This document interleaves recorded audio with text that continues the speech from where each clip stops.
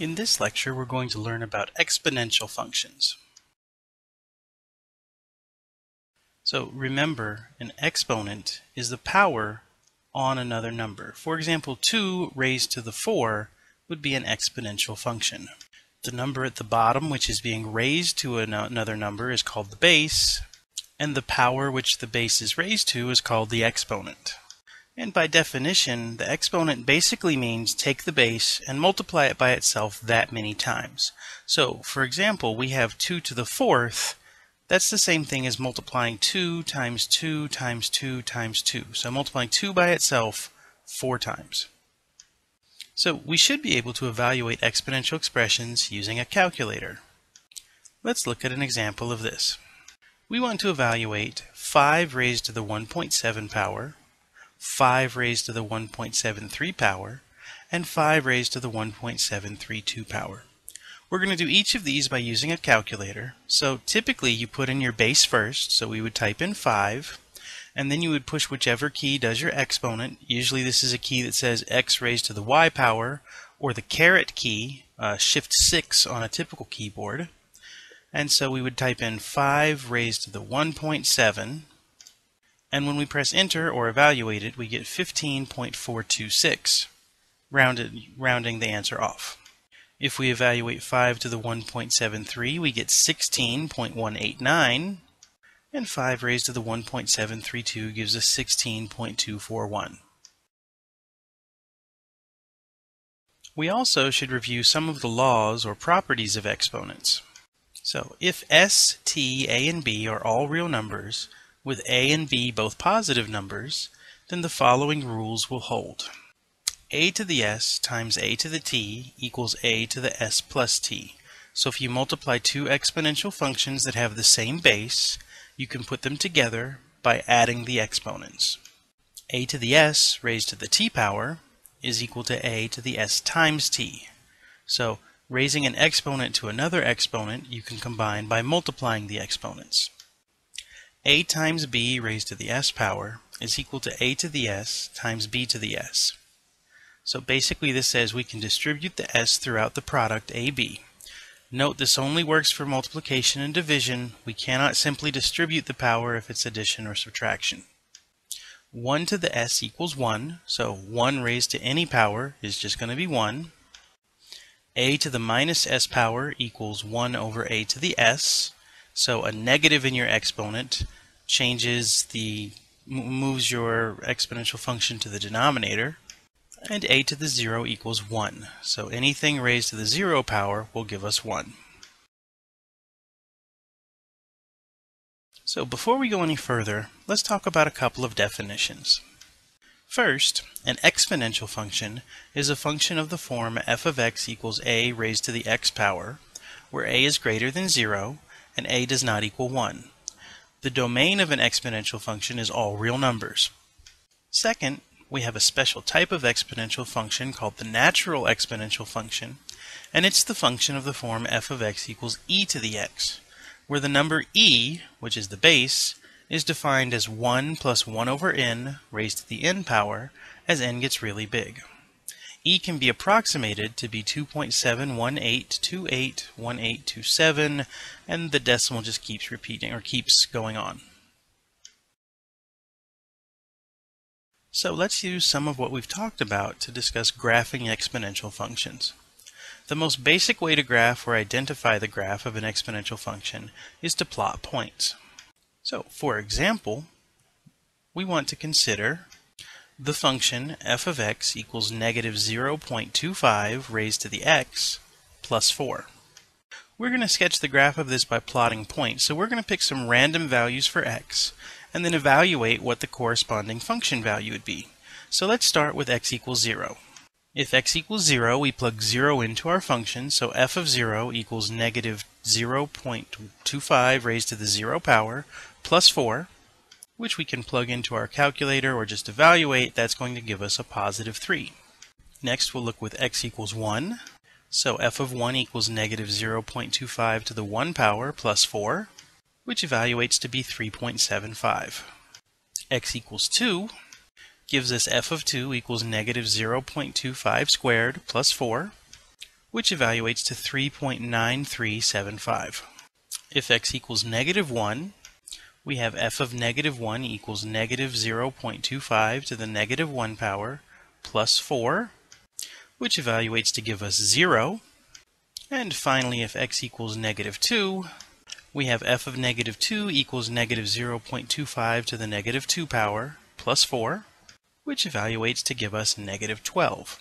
So we've picked five x values and found their corresponding y values. Let's plot those points so if we plot the points that we found, it looks something like this. And to sketch the graph, we're just going to connect the dots. And so the graph of the function f of x equals negative 0.25 to the x power plus 4 looks something like this. Let's look at another example. This time we have y equals e to the negative x plus 1. Take a couple minutes and see if you can sketch this graph by plotting points. So again, to plot with points, we're going to choose some random values of x. We'll start with x equals negative 2. If we plug negative 2 into the function, we get y equals e to the negative negative 2 plus 1, which evaluates to be 20.0855. If we let x equal negative 1, we have y equals e to the negative negative 1 plus 1, which simplifies to be e squared, which is 7.389. If we let x equal 0, we get y equals e to the 0 plus 1, which simplifies to be e to the 1, and that's 2.718. When x equals 1, we get y equals e to the minus 1 plus 1, which gives us e to the 0, which is just 1. And finally, if we take x equals 2, we get y equals e to the negative 2 plus 1, which simplifies to be e to the minus 1, which gives us 0.3678. So now that we've found several points, we found the x values and their corresponding y values, we can plot those on a graph as follows. So these are the points that we found. And so to sketch the graph, we're just going to connect the dots. And we see that the graph of the function y equals e to the minus x plus 1 looks something like this. And the last thing we want to talk about in this section is how to solve exponential equations. So note, if a to the u is equal to a to the v, then the exponents u and v have to be the same. So the first strategy that we're going to use to solve exponential equations is to use the properties of exponents that we talked about earlier in the lecture to write both sides of the equation with the same base, if that's possible. So let's look at an example we have 5 raised to the x plus 3 equals 1 over 5. So we want to start by trying to rewrite this equation so that both sides have the same base. We want to try to write both sides of the equation with a base of 5. So we need to rewrite 1 over 5 so that it has a base of 5. So using the reciprocal property, or the property of negative exponents, we could rewrite the right-hand side as 5 to the negative 1, so we have 5 to the x plus 3 equals 5 to the negative 1 power. And now since both sides have the same base, we can just set the exponents equal to each other. So if 5 to the x plus 3 equals 5 to the negative 1, then x plus 3 must equal negative 1. And we can solve this equation for x. We'll subtract 3 from both sides of the equation to get x by itself, and we wind up with x equals negative 4. So we could take this x equals negative 4 and plug it into the equation to check it, just to make sure that our answer is right. Let's look at another example. This time we have 4 raised to the x squared power equals 2 raised to the x.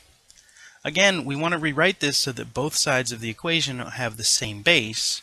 So we want to see if we can take the larger number, the 4, and rewrite it in terms of 2. So we should know that 4 is the same thing as 2 squared, so we can rewrite this as 2 squared raised to the x squared power equals 2x.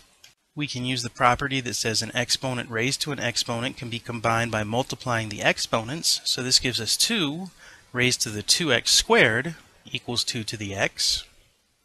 And again, since we have the same base on both sides, we can now set the, the exponents equal to each other. So 2x squared must equal x. And now we can solve this. To solve the quadratic, we'll put all terms on the same side of the equation, so we subtract x from both sides to give us 2x squared minus x equals 0.